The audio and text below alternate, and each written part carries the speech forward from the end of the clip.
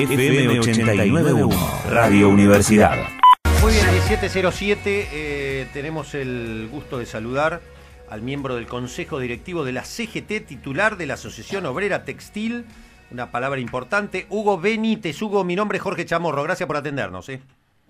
¿Qué tal, Jorge? ¿Cómo estás? Buenas tardes. Muy bien, Hugo, muy bien. Bueno, eh, acá hablábamos con la mesa, estamos un poco desorientados porque eh, antes de entrar a temas eh, que son más importantes, que es el, la mirada hacia adelante, pero bueno, estamos un poco desorientados por el documento que presentó Cambiemos, donde dicen que el país ya está listo para crecer, que se vienen una cantidad de exportaciones, que bajaron los impuestos, bajaron el gasto, eh, si se endeudaron fue por el gobierno anterior, pero que dejan un país extraordinario, que el empleo, y a esto vamos a la pregunta a un hombre de la dirigencia gremial, que el empleo se crearon más de 1.250.000 puestos de trabajo, y que el desempleo en realidad es parte de él que mucha gente salió a buscar trabajo. Este, ¿Merece algún comentario, Hugo, esto?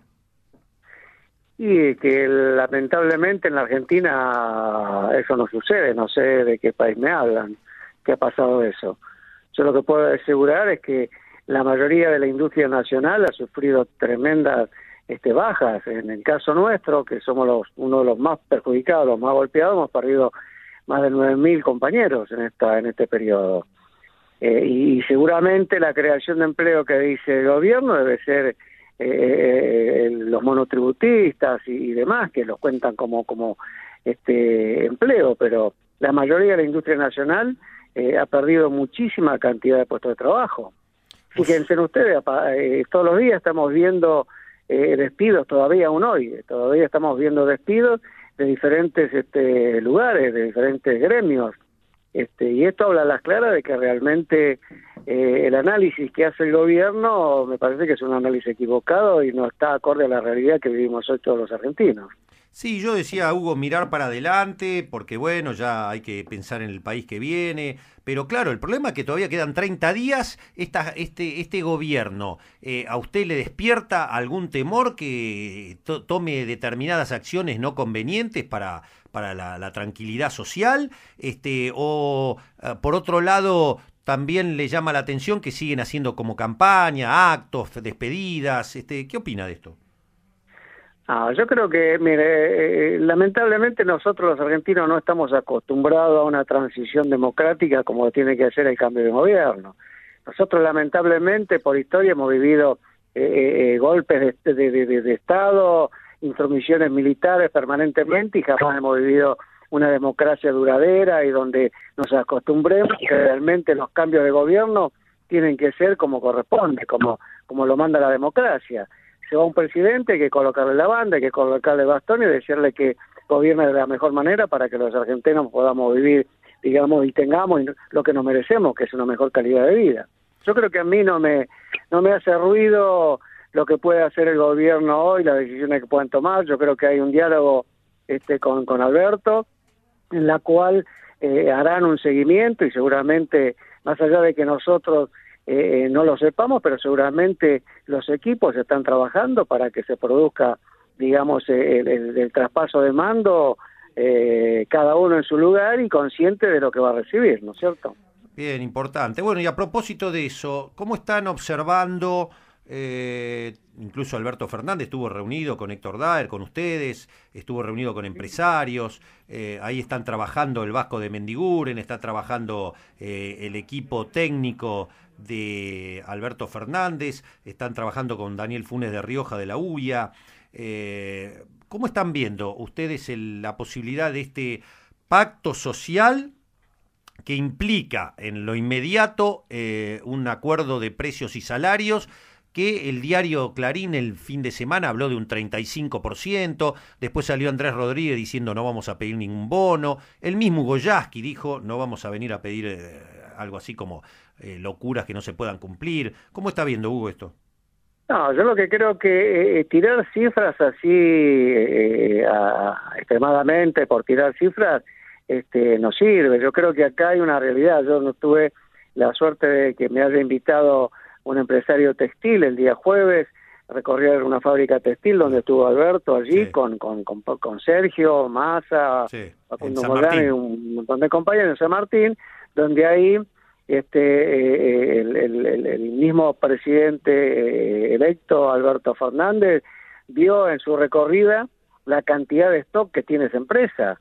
Y, aquí lo que necesitamos realmente es lo que él dijo ahí en esa en su alocución en sus palabras que tenemos que digamos eh, retomar el tema que, que, que, hemos dejado de lado, que es reactivar la economía para que de vuelta aparezca el consumo y empiece a girar la rueda y todo ese stock acumulado que tienen las empresas hoy empiecen a, digamos, a salir de la de los depósitos para que realmente empiecen a producir y a generar empleo. Yo creo que, esa es una de, las de las buenas cosas que hemos vivido ese día, yo personalmente como secretario general de, la OTE, que haya estado en una fábrica textil viendo la realidad que vive hoy una empresa textil y un empresario que anuncia que, que, va a invertir más de 4 millones de dólares en reabrir una planta textil en La Rioja y bueno, eso nos, nos mueve las fibras y, nos genera fe, esperanza de que realmente eh, aquí en la Argentina, lo dije yo muchas veces, y, lo sigo repitiendo,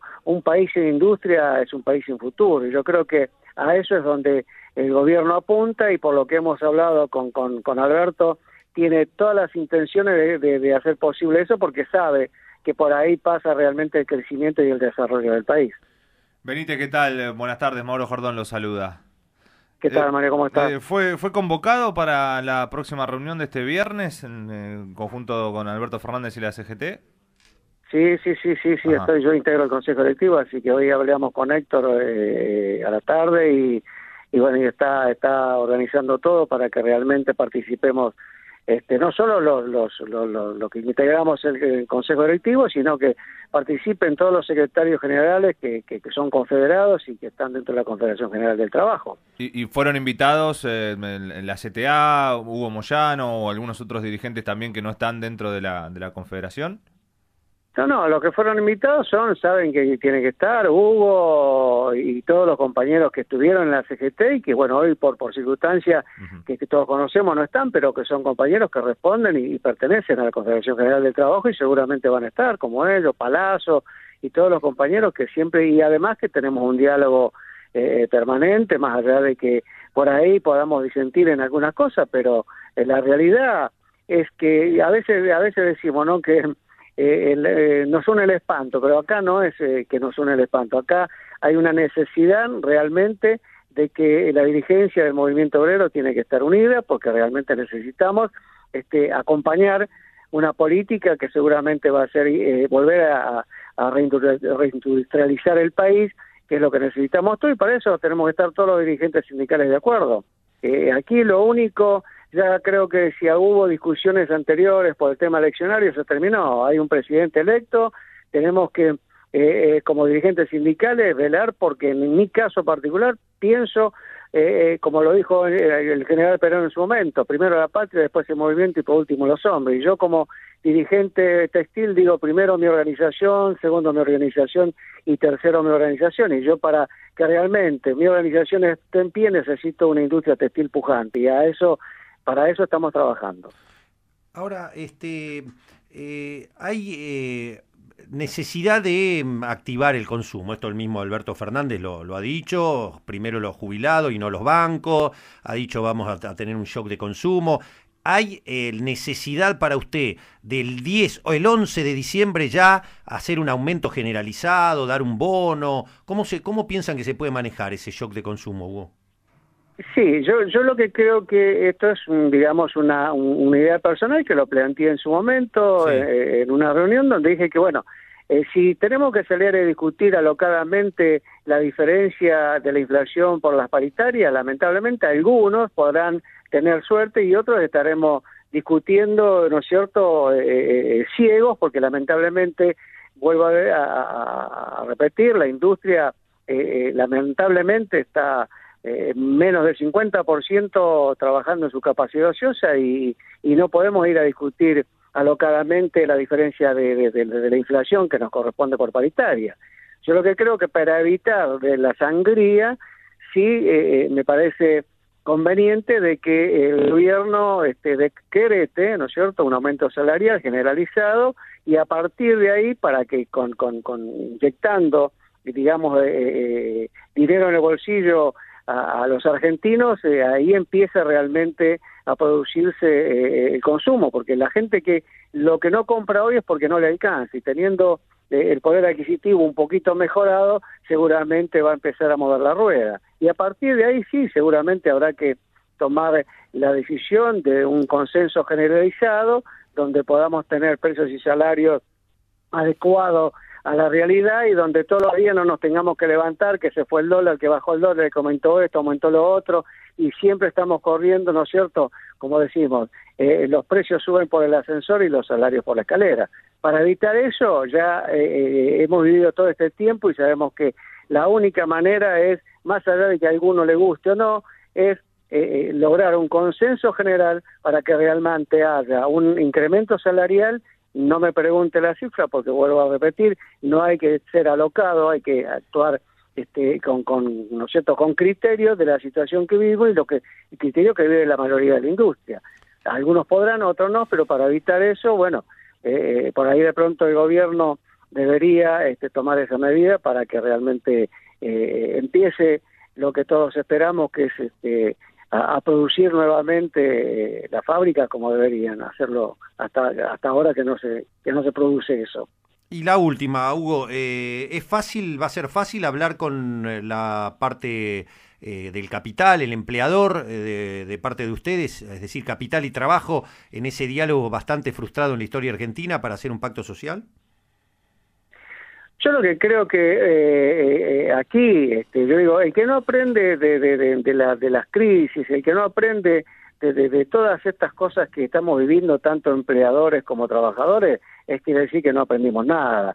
Yo lo que creo que aquí realmente tenemos que trabajar juntos. Yo he tenido aquí eh, una reunión con varios empresarios este, en su momento, donde algunos decían, yo nunca conocí un sindicato por dentro y lo conozco, y veo que es diferente, claro, porque hoy el mundo cambió y el mundo nos, nos, nos ha enseñado de que el capital y el trabajo tienen que ir de la mano, discutir cada uno, eh, defender su posición y sus intereses, pero aquí lo que tenemos que pensar en que cómo hacemos para generar trabajo y que realmente los trabajadores tengan eh, el, salario que corresponde.